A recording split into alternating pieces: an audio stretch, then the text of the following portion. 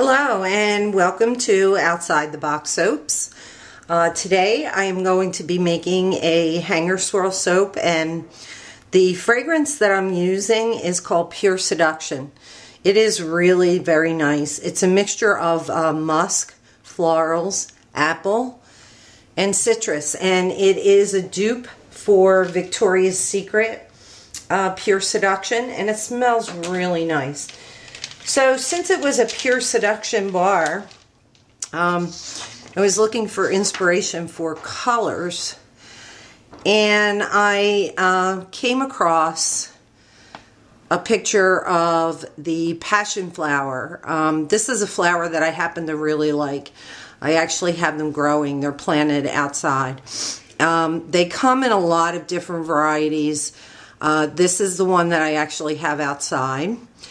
So I thought I would go with Passion Flower Hues since it fits this pure seduction theme. All right, so my oils and butters, I have coconut oil, olive oil, apricot kernel oil, aloe vera oil, castor oil, shea butter. And everything is in the 80s temperature wise. So we're going to get started and we are going to hope we don't have any surprises. And I am actually going to strain my lye water because I did put some silk in here. And I'm also trying some sodium lactate, which uh, tends to give you a harder bar that is longer lasting in the shower. So we'll see how that works out because unfortunately it can also accelerate trace. And excuse me, I don't want that to happen today because I'm going to be trying to do a swirl. So let's gently try to get these things, these oils all incorporated and emulsified and all that good stuff.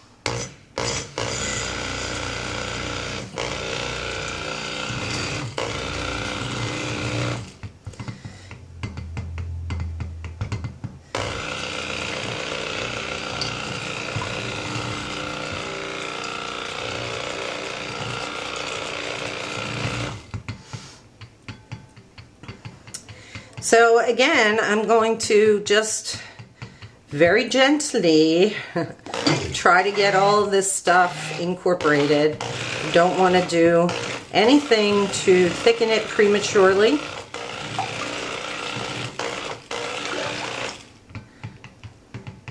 It should be a um, should be a cooperative batter, but we will see. And part of the problem is that uh, because I'm new to this, a lot of the uh, fragrances and the recipes that I'm trying out are new.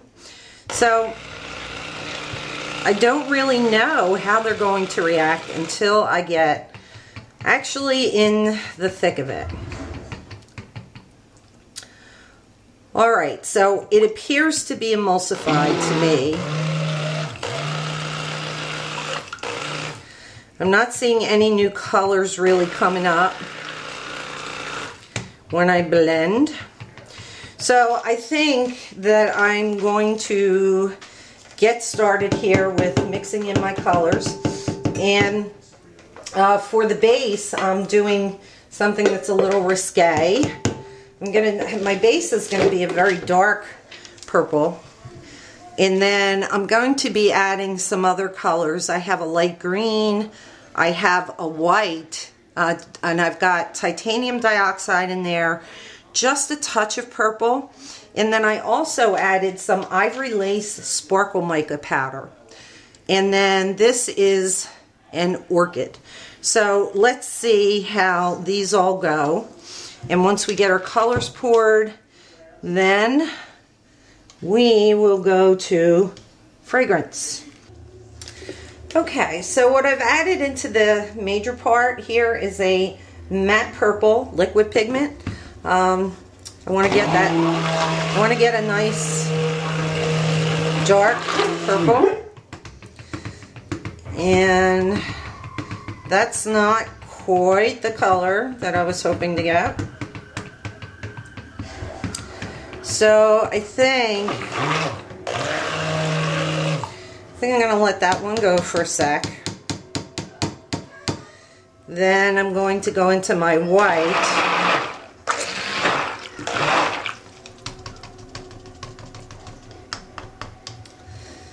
And then into my light green.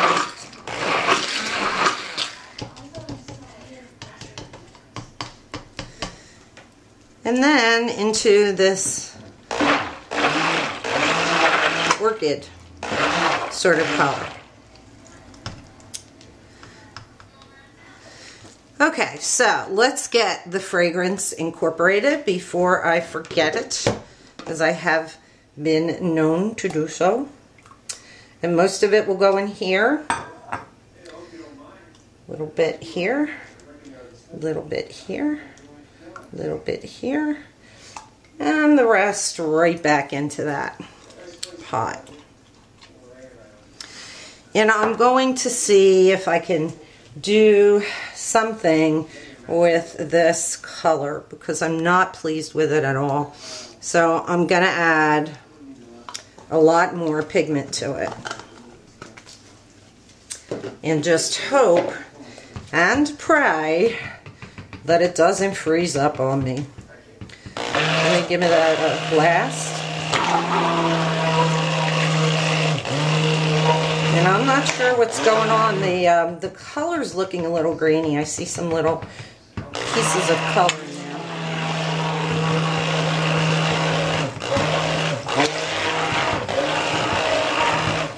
there. Okay, still not very happy with it, but I'm going to pause you and see if I can do something better with this color. Be right back.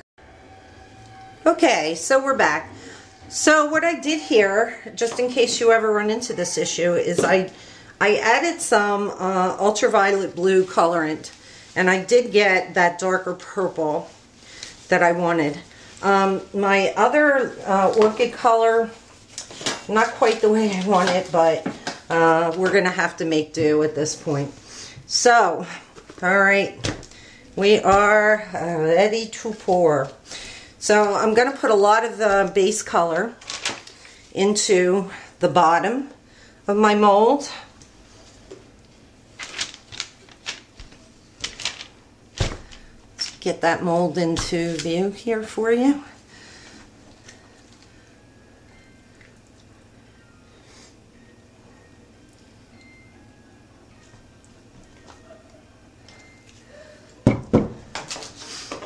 And I'm just gonna let me bang that down.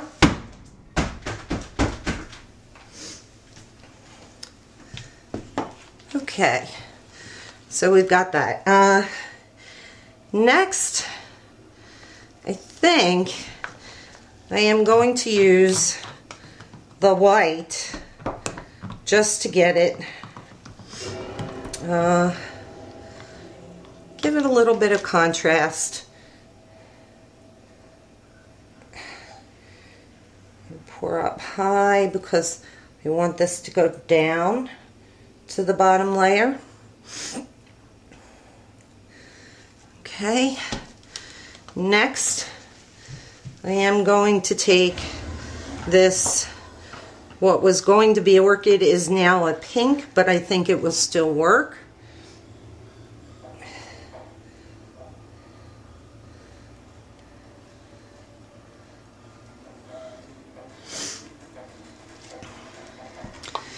And then I have this very light green that I really liked to um, kind of blend in with, again, the colors of that Passiflora, that, um, that passion flower. Okay, so let's get a bit more of the base in there.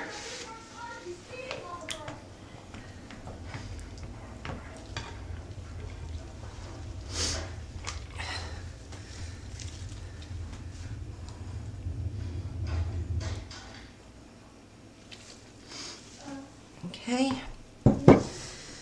And then I'm going to go again with my starting to thicken up. So let me stir it. And since we're swirling, I think um, they will get mixed in. Uh, it's not going way down, but that's okay. And I'm going to leave the rest of that for the top. Then I'm going to take these, the uh, pinkish color next.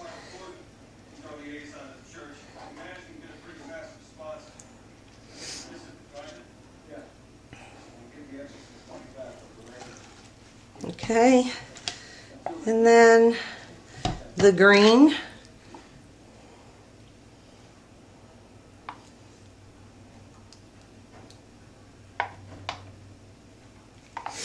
Okay, now the next thing I'm going to do is put a uh, layer of my base color just over, um, oh actually I think I want to swirl it first.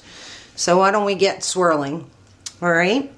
So my hanger is right here. Okay, so we're going to take the hanger, going to put it down in the center, going to push up towards me, and then I am going to start to do circles. And I'm doing circles at different levels within this.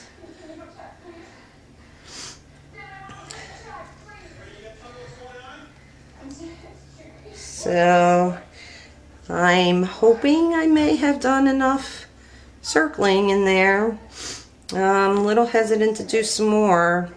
Maybe just right here and do a couple and bring that up. And we will see how that goes.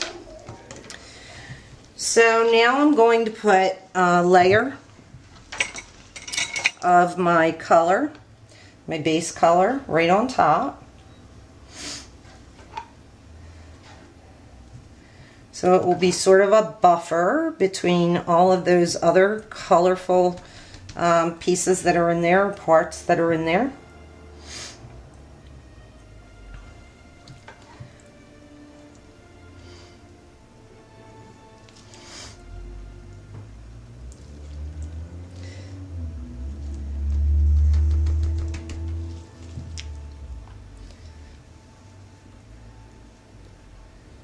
Make sure we get the corners.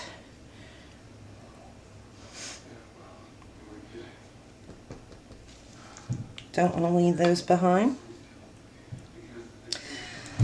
All right. Excuse me a sec while I uh, while I bang down and make sure that I get as many air bubbles as I can out of this. And honestly, I'm not quite sure whether I'm going to get the swirl I'm going for. It did get a little bit thick, uh, probably because I had to spend some extra time with colorants. But let me just give it a bang.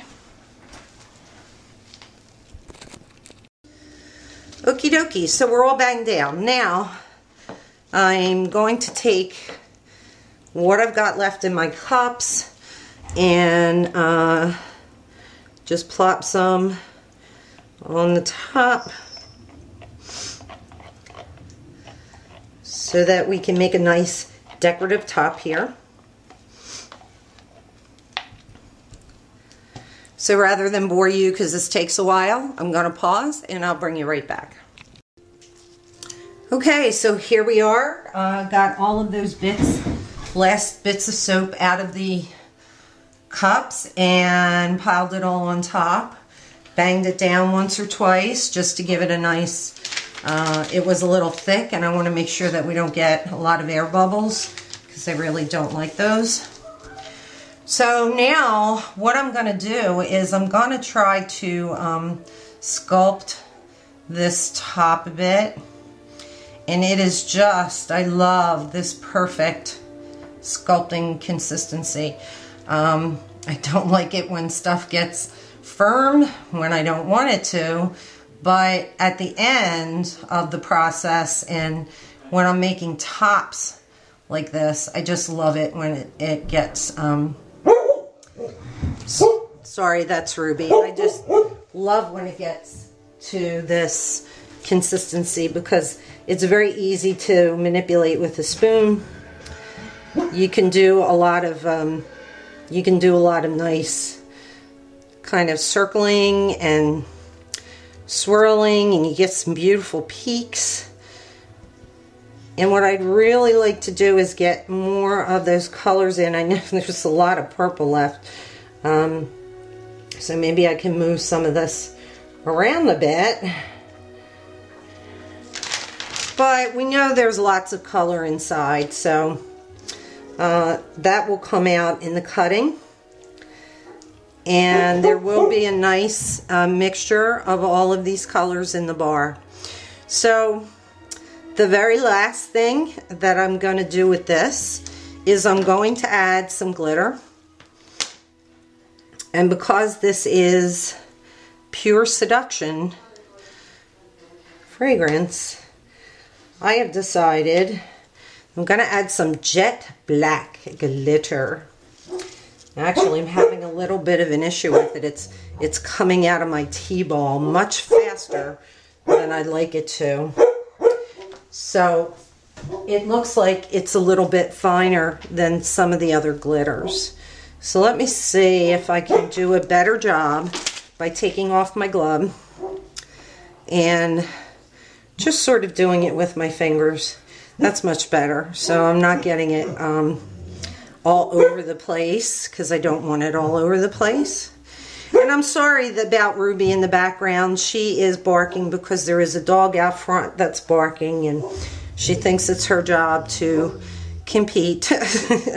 so uh, we're trying to keep her keep her calmed down uh, as best I can, but hey, barking happens, and when you have pets, uh, that's part of the deal. I just don't have a soaping room um, that is completely removed from any of my my uh, from the rest of my house. All right, so there is the jet black glitter. I kind of like that. And then I'm going to use some uh, Bramble Berry's Iridescent because I know that doesn't um, sneak through the little holes. That handles pretty well with a tea ball. So here we go. And I think I am finite with this soap. So here it is. Um, how the swirls turned out remains to be seen. I will gel this and cut it and then I will definitely post some pictures. So thanks again as always for joining uh, and hope that you enjoy watching the process and uh, please remember to subscribe to the channel and we'll see you in the next one. Okay, have a great day.